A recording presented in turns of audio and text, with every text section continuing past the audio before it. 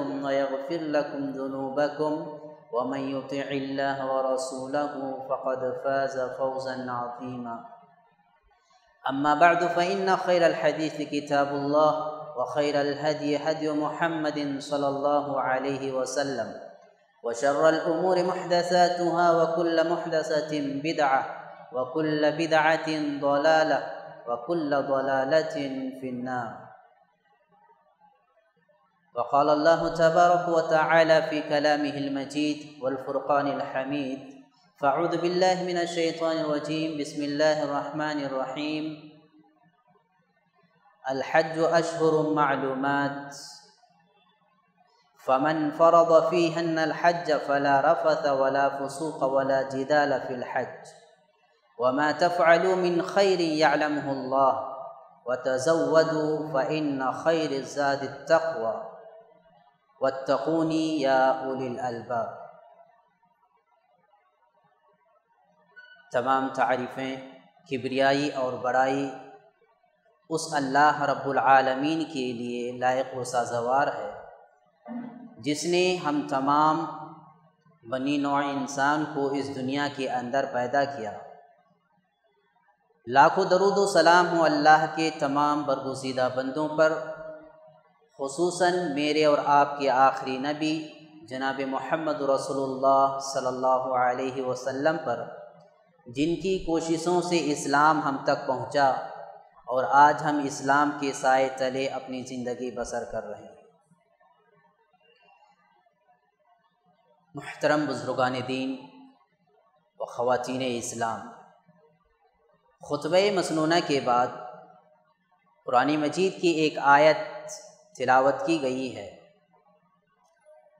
इस आयत की रोशनी में मैं आपके सामने आज के खुतबे में हज का पैगाम, यानी हज जो एक अजीम इबादत है, ये इबादत, ये हज अपने अंदर इंसानों के लिए बहुत सारे पैगामात रखते हैं। बहुत सारे नसीहत की बातें इस इबादत के अंदर इंसानों के लिए मुजमर है।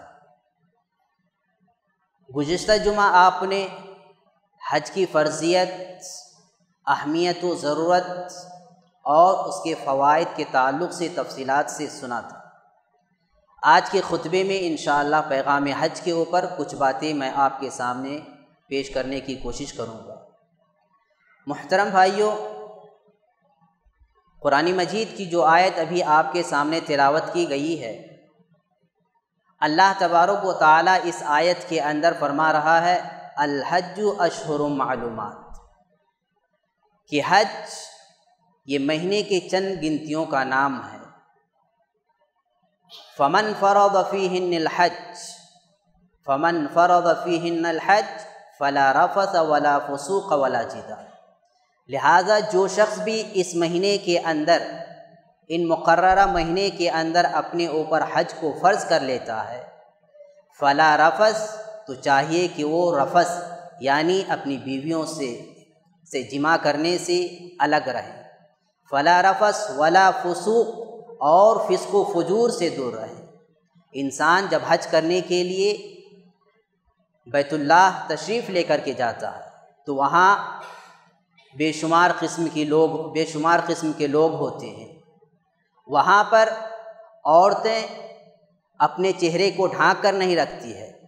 लिहाजा अल्लाह तबारक व ताली ने इस आयत के अंदर कहा, फ़ला, वला फसूक अल्लाह रब्बुल आलमीन की नाफरमानी करने से बैतुल्लाह के अंदर अयाम हज के अंदर अपने आप को दूर रखो। अपने जहन के अंदर बुरे ख़यालात आने से अपने जहन को महफूज रखो। अल्लाह तबारक व ताली के घर पहुँच कर तमाम किस्म की अल्लाह रब्बुल की नाफरमानी करने से अपने आप को दूर रखो। वला जिदाल, और जब हज करने के लिए लोग बैतुल्लाह तवाफ़ कर, बैतुल्लाह तशरीफ़ लेकर के जाते हैं तो वहाँ पर खान काबा से लेकर के मैदान अरफा तक ये बहुत ही छोटी जगह है। इस छोटी जगह में आप देखेंगे कि लाखों की तादाद में लोग होते हैं। वहाँ पर लोगों की एक जम्मे गफ़ीर होते हैं। कसरत भीड़ हुआ करती है। ऐसे वक्त में लोगों के अंदर एक किस्म की चिड़चिड़ापन आ जाती है। हम नॉर्मल ही जब किसी भीड़ के अंदर अटक जाते हैं तो हम परेशान हो जाते हैं। हम, हमारा जहन पूरी तरह से मुंतशिर हो जाता है और हम इस हालत में आ जाते हैं कि हम, हमारे सामने अगर कोई शख्स कोई ऐसा हरकत, ऐसी हरकत कर देता है जो हमारी फितरत से बिल्कुल अलग हुआ करती है तो हम उनको गालियाँ देने लगते हैं। उनसे लड़ पड़ते हैं, उन्हें बुरा भला कहने लगते हैं। अल्लाह तबारक व ताली ने कहा कि तुम वहाँ हज के लिए तशरीफ़ ले जा रहे हो, एक अजीम इबादत को अंजाम देने जा रहे हो, लिहाजा वहाँ लोगों की भीड़ होती है, ऐसी भीड़ के अंदर, अपने अंदर सब्र और तहमुल पैदा करके रहो और वहाँ सब्र से काम लो, अपने अंदर चिड़चिड़ापन न रखो और अगर किसी से कोई मामला हो जाए तो वहाँ लोगों से लड़ाई झगड़े करने से बाज रहो, दूसरे को बुरा भला कहने से बाज रहो। वला जिदाल फिल हज। वमा तफ़अलुमिन खैरिन, यालमहुल्ला। तुम जो भी नेक काम करते हो, जो भी अच्छे काम करते हो, अल्लाह तबारक व ताली को उसका इल्म है, अल्लाह तबारक व ताली उसको जानता है। व तजवदु फ़िन खैर तकवा। अल्लाह ने कहा कि हज के लिए जा रहे हो तो इसका ये मतलब नहीं कि तुम अल्लाह के रास्ते में निकल रहे हो तो बेसहारा, बेसाजो सामान बग़ैर किसी तैयारी के निकल जाओ। नहीं, बल्कि हज के लिए जा रहे हो तो अपने लिए हज के रास, हज के सफ़र के लिए जो जो भी तोशा है, जो भी अल्लाह, जो भी अखराज है, वो सब लेकर के हज के सफ़र पर निकलो।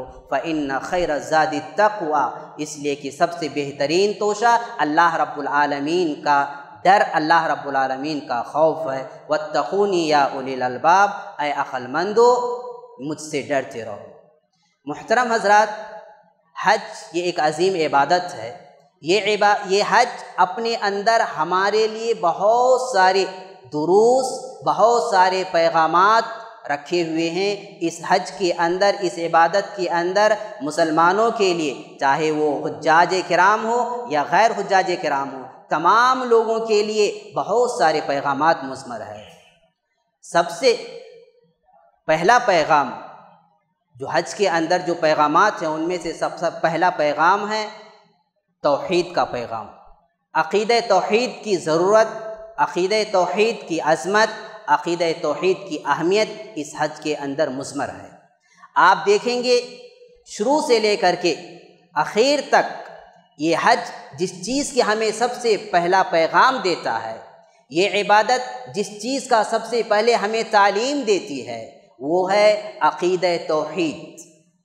वो है अक़ीद तोहद की अज़मत, अक़ीद तोहद की अहमियत व ज़रूरत।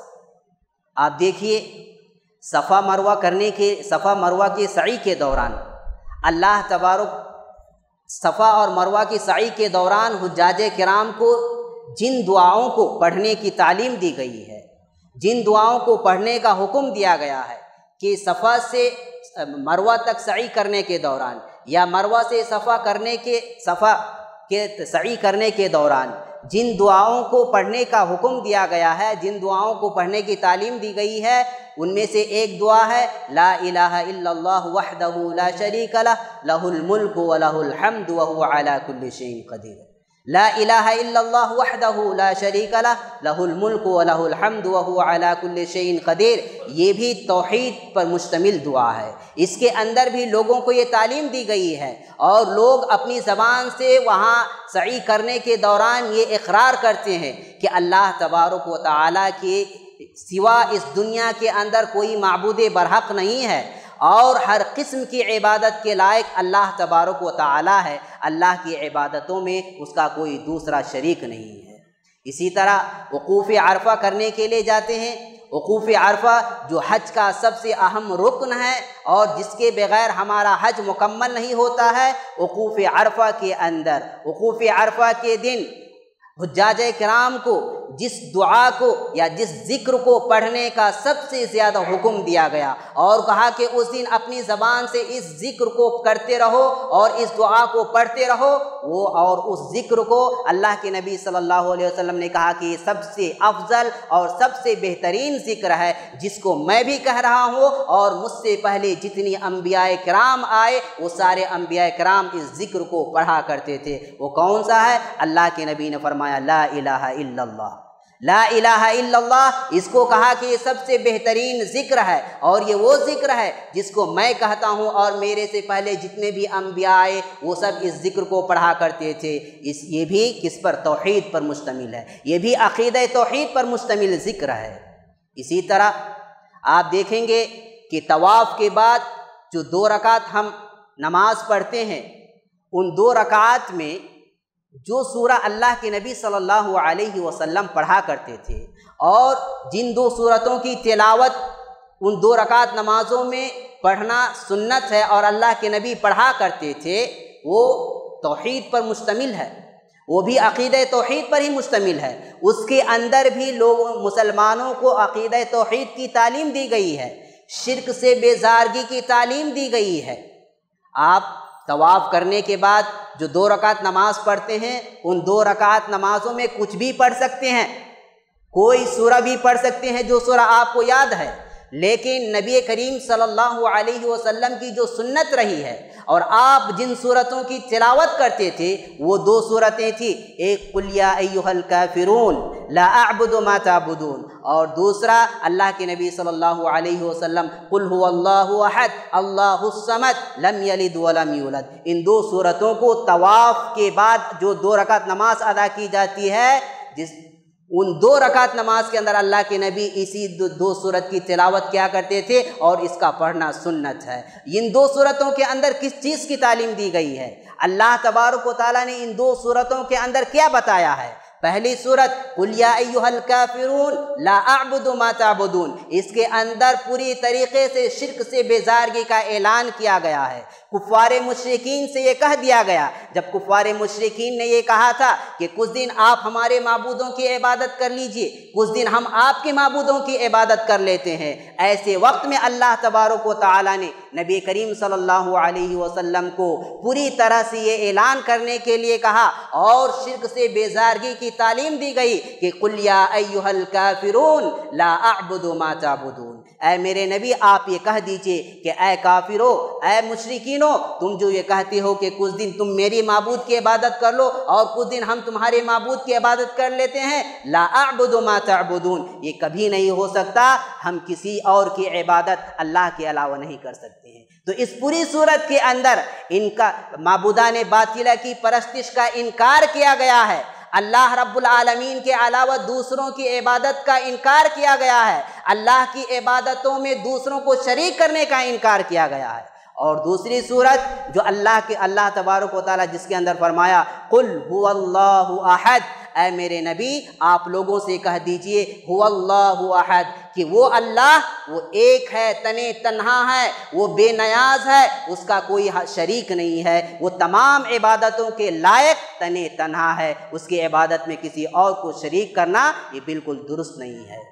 तो आप देखेंगे कि हज के अंदर जिन जिन दुआओं की या जो जो तालीमात दिए गए हैं, वो सारे के सारे अकीद तोहद पर मुश्तमिल है। जो हमें इस बात की तालीम देता है, जो हमें ये बताता है कि एक हजाज कराम जब एक हाजी हज के लिए इरादा करता है जब एक हाजी हज के सफ़र पर रवाना होता है तो हज के सफ़र पर रवाना होने से पहले उन्हें अपने दिल को शिरक की गलाजत से पूरी तरह से पाक कर लेना चाहिए। उन्हें अपने आप को पूरी तरह से शिरक से बेजार कर लेनी चाहिए। लेकिन आज अफसोस की बात यह होती अगर ऐसे लोग हज करने के लिए जाते हैं और हज करते हुए वहाँ दिल के अंदर मबूदान बातिला, यानी गैर अल्लाह के अलावा दूसरों की मोहब्बत को लेकर के भी जाता है। दूसरों की मोहब्बत अपने दिल के अंदर भी बसाया हुआ रहता है। औलिया औलिया गैरुल्लाह की अप मोहब्बत अपने दिल के अंदर रखा हुआ रहता है। ऐसे दिल को जिसके अंदर शिरक से मोहब्बत भरी पड़ी है, ऐसे दिल को लेकर के अगर आप हज पर जाते हैं, अल्लाह रब्बुल की इबादत को अंजाम देने जाते हैं तो फिर हमारे हज करने का कोई फ़ायदा नहीं होगा। फिर हमारा हज काबिल कबूल नहीं होगा। और यही वजह है कि आप देखेंगे बहुत सारे लोग हज करके जब वापस आते हैं, हज के सफ़र से जब वापस अपने घर लौटते हैं तो उनकी ज़िंदगी के अंदर वही शिरक वही शिरक की गलाजत उनकी ज़िंदगी के अंदर भरी पड़ी रहती है। और वक्त आने पर अल्लाह रब्बुल आलमीन को छोड़ करके वो दूसरों के मोहताज होते हैं, दूसरों के दर पर अपना हाथ फैलाने चले जाते हैं। तो समझिए कि हमारा हज कबूल होगा या हो, नहीं हुआ है। अल्लाह ने हमारे हज को कबूल किया है या नहीं किया है? अगर हज करने के बावजूद, अगर हज अदा कर देने के बावजूद, इस अहम इबादत को अंजाम देने के बावजूद अगर आप शिरक को नहीं छोड़ते हैं, शिरक से बेसारगी आपके दिल के अंदर नहीं है। आपके दिल के अंदर अल्लाह के अलावा दूसरों की मोहब्बत, गैरुल्लाह की मोहब्बत भरी पड़ी है तो समझिए कि आपका हज काबिल कबूल नहीं है। इसलिए कि ये हज, ये अहम इबादत हमें अकीद तोहद को इख्तियार करने, अल्लाह रब्बुल आलमीन पर सही मानों में ईमान रखने और अपने आप को पूरी तरह से मुवाहिद बनने की तालीम देता है। जिस बैतुल्लाह की इबादत के लिए आप जाते हो, जिस खान काबा की इबादत के लिए आप जाते हो, उसकी एक एक ईट तोहद की बुनियाद पर रखी गई है। उसकी एक एक ईट अकीद तोहद की बुनियाद पर रखी गई है। अल्लाह तबारक ताली ने जब हज़रत इस्माइल, इब्राहिम और इस्माइल सलाम को बैतुल्लाह की तामीर का हुक्म दिया और उस जगह की निशानदेही कर दी गई कि इस जगह पर बैतुल्लाह की तामीर करनी है। अल्लाह तबारक ताली ने कहा व बना इब्राहिम मकान बैत। अल्लाह तुशरिक बिल्लाहि शैआ अल्लाह ने कहा कि जब इब्राहिम और इस्माईल सलाम को खान काबा की तामीर, खान काबा को बनाने के लिए उस जगह की निशानदेही कर दी गई और उन्हें खान काबा को तामीर करने का हुक्म दे दिया गया तो कहा कि अल्लाह तुशरिक बिल्ला, इस घर की तामीर और इस घर को बनाना, इस बुनियाद पर बनाना कि इस घर के अंदर अल्लाह रब्बुल आलमीन के अलावा किसी और की इबादत नहीं होनी चाहिए। अल्लाह के अलावा किसी और के साथ, किसी और की परस्तिश यहाँ पर नहीं होनी चाहिए। तो जिस घर की, जिस घर के हज के लिए हम रवाना होते हैं, जिस बैतुल्लाह के हज के लिए हम रवाना होते हैं, उसकी एक एक ईट अकीद तोहद की बुनियाद पर रखी गई है तो हमारी ज़िंदगी भी बदलनी चाहिए कि इस अहम इबादत को अंजाम देने के बाद इससे पहले हमारे दिल के अंदर जो शिर की मोहब्बत थी, हम अपने आप को उस शिरक से नजात दिला लेंगे, अपने आप को शिरक से बेजार कर लेंगे। मोहतरम हज़रत, हज का एक दूसरा पैगाम है कि ये हज हमें क़यामत के दिन को याद दिलाता है। ये हज हम तमाम को क़यामत के दिन को याद दिलाता है। जिस तरह हम हज करने के लिए जाते हैं और दुनिया भर से लोग मुसलमान हज की इबादत को अंजाम देने के लिए वहाँ तशरीफ़ लाते हैं। लाखों की तादाद में लोग वहाँ आते हैं। वहाँ आप देखेंगे, अपने सामने अगर दूर तक नज़र दौड़ाएँगे तो आपको एक ही किस्म के लिबास में मलबूस, एक ही किस्म के लिबास पहने हुए सारे खुजाज कराम आपको नज़र आएगा। आप अपने दाएँ तरफ़ देखेंगे, बाएँ तरफ़ देखेंगे, पीछे सामने जहाँ भी आप नज़र उठा करके देखेंगे, आपको लोगों की एक जम्मे गफीर, लोगों को ठाठा मारता हुआ समंदर नज़र आएगा।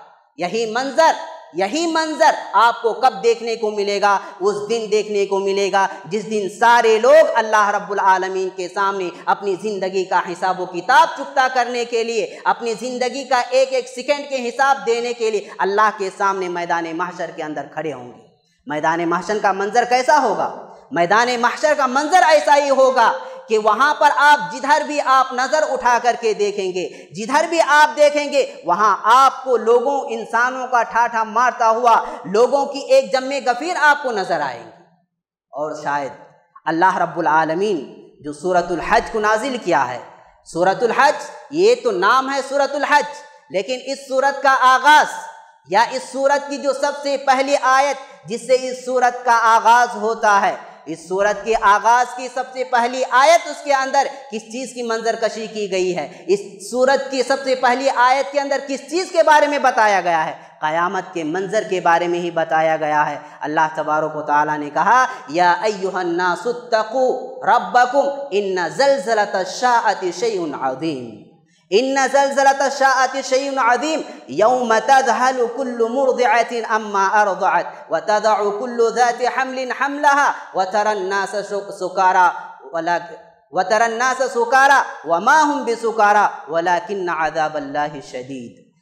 अल्लाह तबारक ताली, या अयुहन्नासुत्तकू से शुरू करके वलाकिन आज़ाब अल्लाह शदीद तक, आप देखें तो क़यामत का मंजर कशी की गई है। क़यामत के दिन जो मंजर होगा, लोगों की जो कैफियत होगी, लोग जिस तरह परेशान होंगे, मदहोश होंगे, उस वक्त इंसान लोगों की क्या हालत होगी? इसकी मंजर कशी करते हुए कहा इन नज़लसलती शयन अजीम, कि क़यामत का जलजला ये कोई मामूली चीज़ नहीं है। ये कोई हल्की चीज़ नहीं है, ये बहुत ही बड़ी चीज़ है। कैसे बड़ी चीज़ है? अल्लाह ने कहा, यौम कुल्लु मुरदिअतिन अम्मा अरदअत वो दिन ऐसा होगा, क़यामत का वो मंज़र ऐसा होगा, जिस दिन इसराफिल सलाम अल्लाह रब्बुल आलमीन के हुक्म से सूर फूकेंगे, उस वक्त लोगों की ये हालत होगी कि हर दूध पिलाती माँ अपने बच्चे को छोड़ देगी।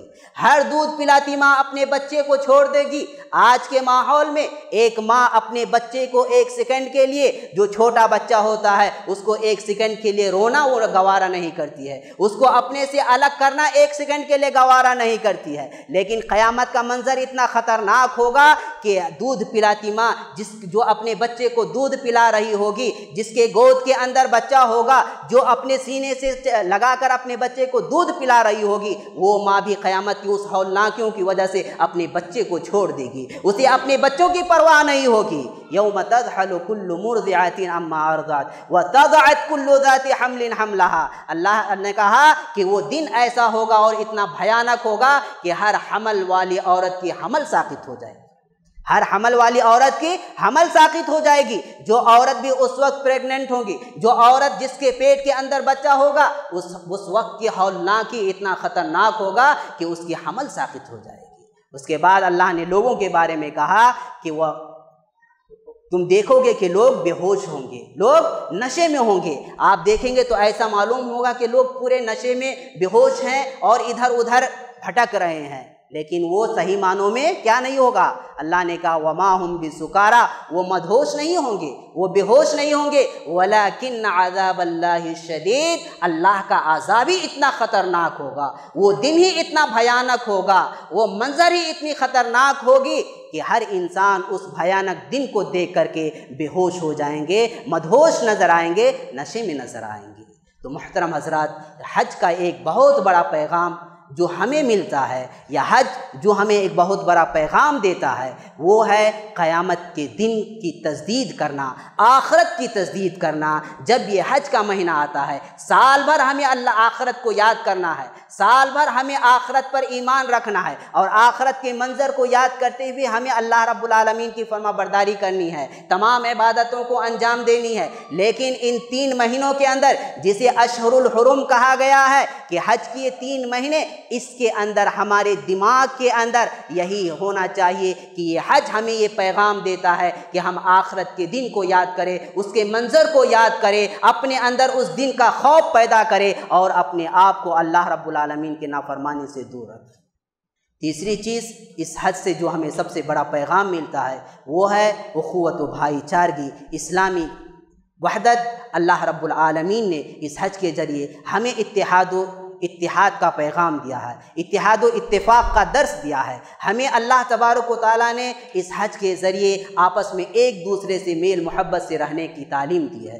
मोहतरम भाइयों, आप देखेंगे कि एक इंसान हज करने के लिए लोग जब मक, बैतुल्लाह तशरीफ़ लेकर के जाते हैं तो वहाँ देखेंगे कि एक कंट्री का नहीं, दुनिया के अंदर जितने भी कंट्रीज़ हैं, वहाँ के, वहाँ से लोग आए हुए रहते हैं। हर एक का अपना अलग कल्चर होता है, हर एक की अपनी अलग तहजीब होती है, हर एक का अपना अपना एक लिबास होता है, हर एक की अपनी ज़बान होती है। लेकिन सारे लोग एक जगह जमा होते हैं, हर एक का अपना अपना कलर होता है। गोरे, काले, हर किस्म के लोग वहाँ जमा होते हैं। लेकिन वहाँ पर कोई एक दूसरे की ज़बान को जानता नहीं होता है। एक हिंदुस्तानी, एक अमेरिकन की ज़बान को नहीं जानता है।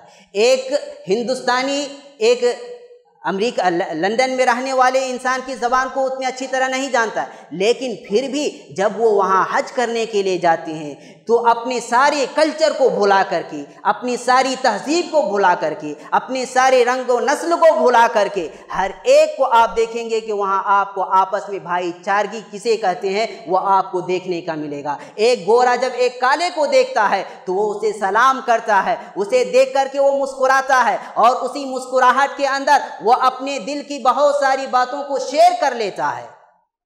ये हज जो हमें सबसे अहम पैगाम देता है कि हमें इस दुनिया के अंदर अखुवत व भाईचारगी के साथ रहना है। इस दुनिया के अंदर हमें इतिहाद इत्तेफाक के साथ रहना है और ये इतिहाद इत्तेफाक अकीद तोहद की बुनियाद पर होनी चाहिए। ये इतिहाद इत्तेफाक सही अकीदे की बुनियाद पर होनी चाहिए। और यही वजह है कि अल्लाह तबारक ताली ने कुरान के अंदर हज के तालीमत देने के बाद, हज के जो भी अरकान हैं, उसको बताने के बाद, अल्लाह तबारक ताली ने इस आयत का ज़िक्र किया कि वातसिमु बेहबल्ला जमी वला तफ़र्रकू वज़कुरु नमतल्लाकुम इज़ कुंतुम आदाअन फ़अल्लफ़ बैन क़ुलूबिकुम फ़अस्बहतुम बिनिअमतिही इख़वाना। अल्लाह तबारक ताली ने इतिहाद इतफ़ाक़ की तालीम भाईचारगी की तालीम, अल्लाह तबारक वाली ने आपस में उल्फत व मोहब्बत की तालीम, बिल्कुल हज के बारे में बयान करने के बाद,